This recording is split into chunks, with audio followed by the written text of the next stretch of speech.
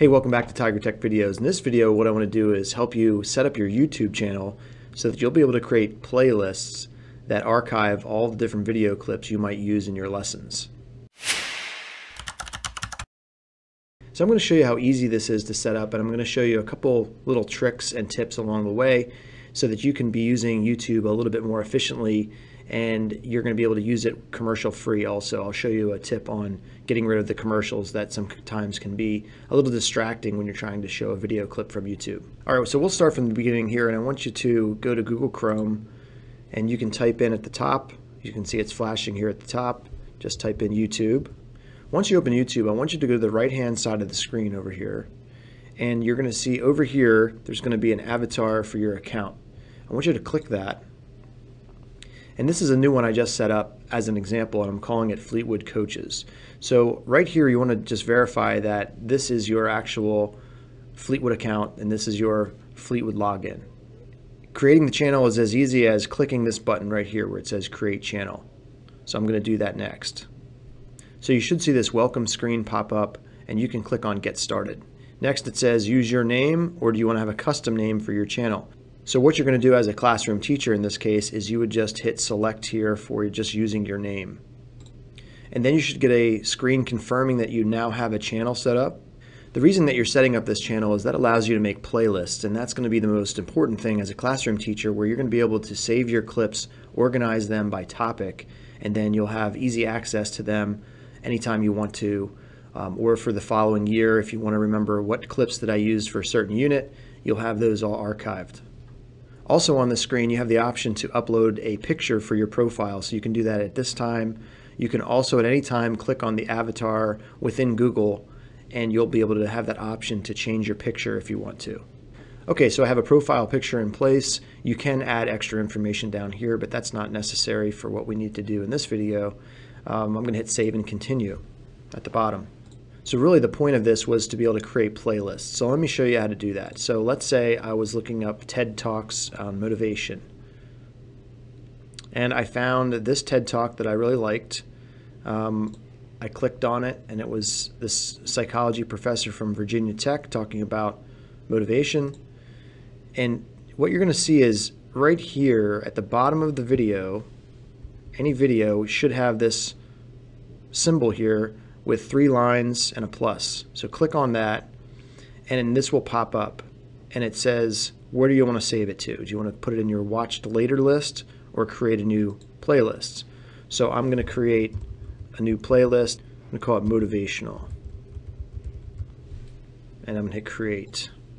Okay, so now it says on the side it popped up and said it's added to the motivational playlist. So let's say I found some other ones I liked let's say there was this video that I liked, um, even, even if the videos are right here and you know this is something that would fit, you can go over here to where there's these three dots, click on that, and it'll say, do you want to save to playlist? And then I can say, yeah, and then I can check this box and it will pop up and say, added to the motivational playlist. Okay, so how do you find your playlist? At any time, you could go over and click on your icon and click on where it says your channel here. And when you click on your channel, you'll see playlists right here. You can click on playlists and it says, it shows you the videos that are in the playlist. Okay, so I have another search here and I like this one. And so what I can do is, let's say I clicked on this video and I really like this one. You can add it again like we did right here with this symbol. Or you can go back and you can go to these three dots right here on the right and then you can add it from there to a playlist like we did before. Um, you can hit save to playlist and you can create a new playlist at this point too. So let's say I said instructional technology for this one.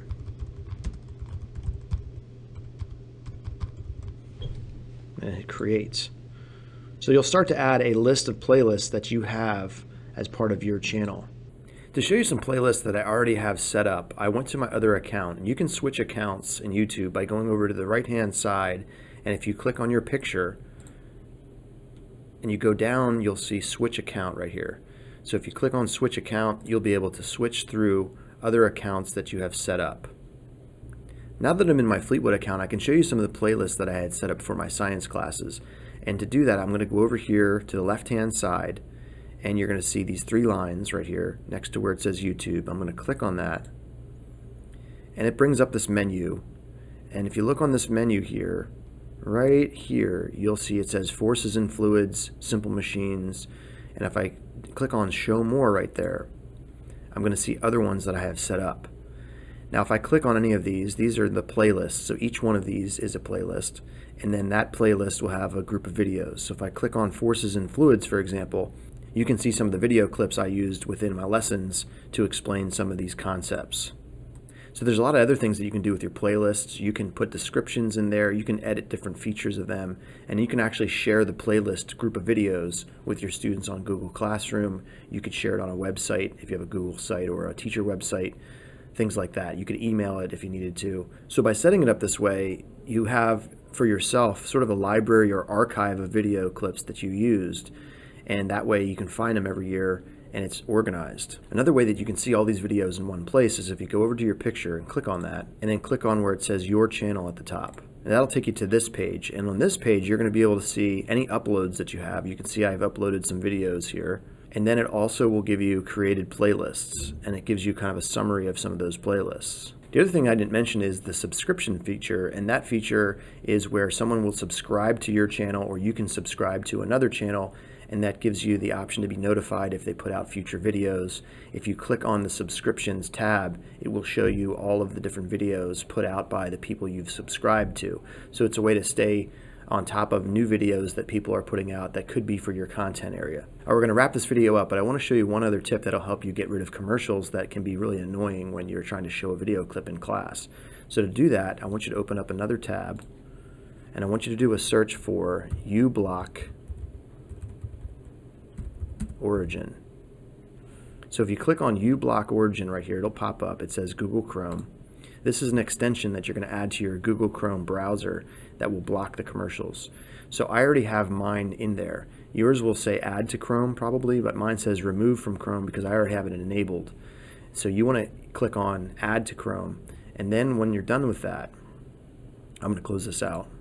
When you're done with that, up here it'll appear, and I'm going to zoom in there so you can see this and it shows you how many commercials were blocked or other pop-ups that were blocked right there. So it, it just stays active in the background. You don't have to do anything, but every time you open Chrome, it should be working and it will block all those commercials. So that's a, a tip that will really save you some frustration, especially if you're getting commercials that aren't appropriate for your, your students to see um, or are a distraction.